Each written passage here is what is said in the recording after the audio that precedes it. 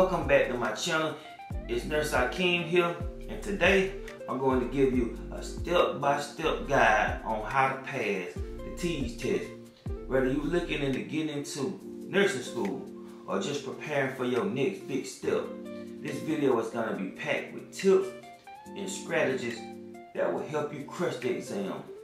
Plus, if you stay to the end, I got some bonus materials that just might make all the difference in your prep.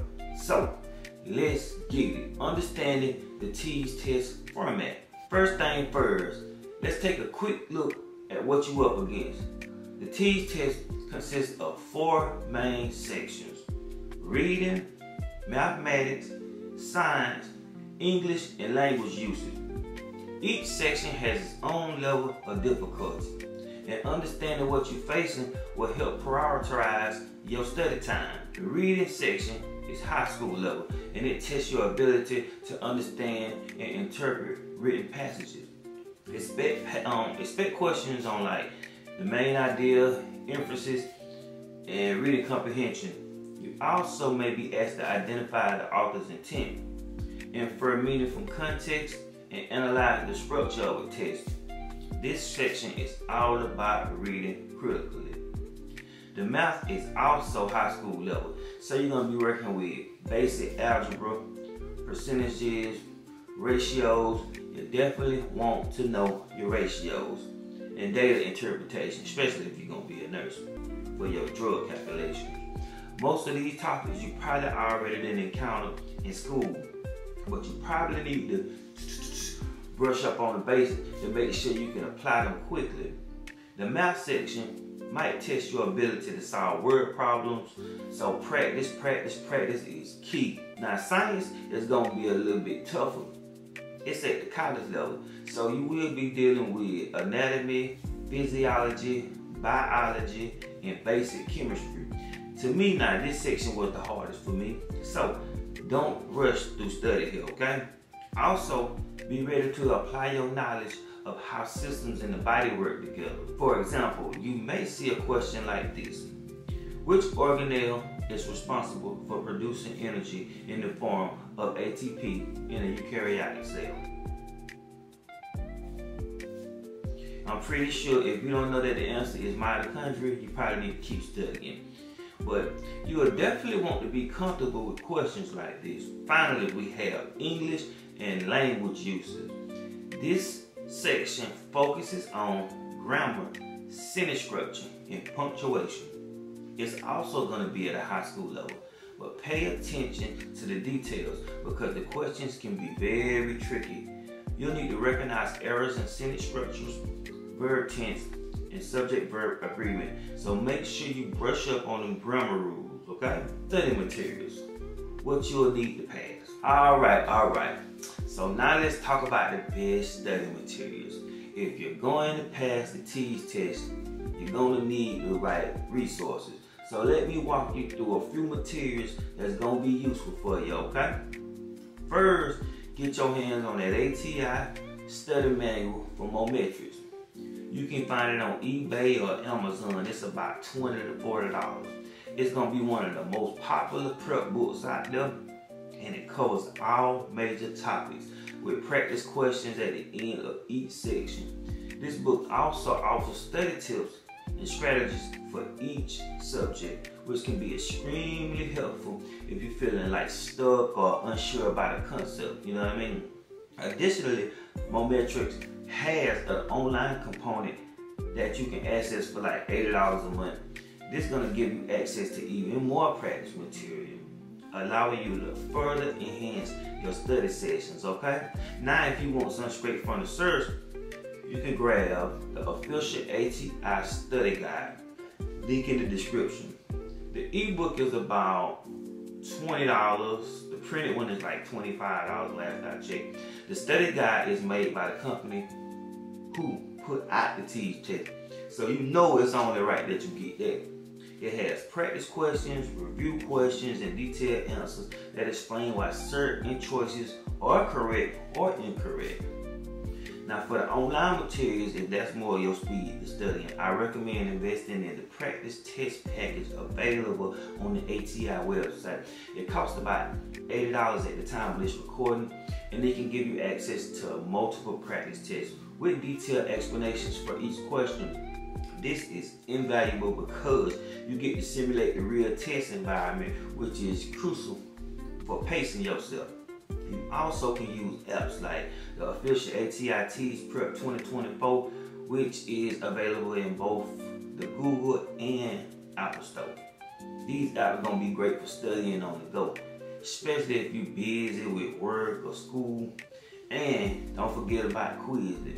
I add some links to the specific Quizlet cards that I find really useful. Create a one month study schedule and time management, okay? You gotta learn time management. All right, now that you got your materials, let's talk about how to organize your study time. Because time management is crucial if you want to pass the test.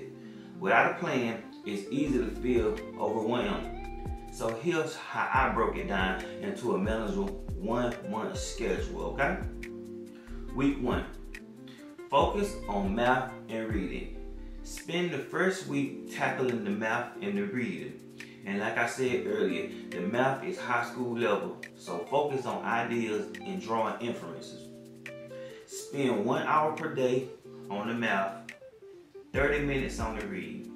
Set aside focused study blocks like 25 minutes of studying followed by like a five minute break. You can get on YouTube and watch some lo-fi music if you're into that. I'm like a lo-fi guy, so that's good for me. That'll help you with time management. So now we're gonna move on over to week two. Week two is all about science. Like I said, this is college level, so you're gonna need to give more time to yourself, okay, to focus on anatomy, physiology, biology, and basic chemistry. Spend like an hour and a half, you know, something like that science, break that down into like three focused 30 minute sessions. I want you to aim to take at least one full practice test by the end of week three, okay? Now, in week three, we're gonna focus on English, which is typically, like I said, at a high school level. The English section is mostly about grammar, sentence structure, and punctuation. So it's best to brush up on them rules. And I want you to dedicate like an hour a day to studying your English and another hour reviewing your math, reading, and your sign to reinforce what's in your head already, okay? Also, make sure to take at least one practice test for each subject this week to gauge your readiness and identify areas that might still need some work in, you know what I mean? Now we on week four. On week four, this is this is the final prep week. I want you to review, practice, and we're gonna get ready for that final. Okay? Now, in your last week, I want you to focus on full review, everything. I want you to visit all four sections and focus on any of your weak spots. I want you to take as many practice tests as you can and simulate the real exam by timing yourself. Spend the last three days focusing on review and practice. And don't forget to take them breaks because I want you to avoid burnout. Study for the test like this will burn you out. Just going through it, just boom, boom, boom. You gotta pace yourself. You dig what I'm saying? Now you can trust me on that. I did the research, okay? Take practice tests. Okay, now here go with this game change. You gonna change lanes on real quick, like you feel me? Now this gonna be your secret weapon when it comes to prepping for the TEAS. Why? Because they do more than just familiarize you with the type of questions you'll face. They also train you to manage your time effectively which is crucial on test day. Try to think of them like a rehearsal for the real deal.